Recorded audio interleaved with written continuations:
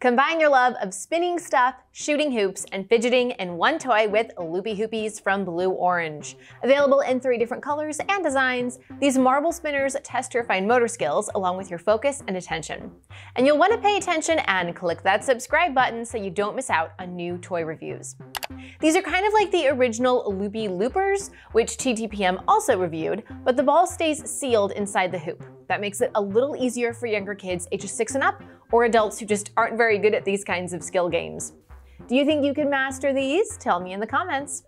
All you have to do is get the marble spinning inside the loop and then try to spin it so that it goes through the hoop.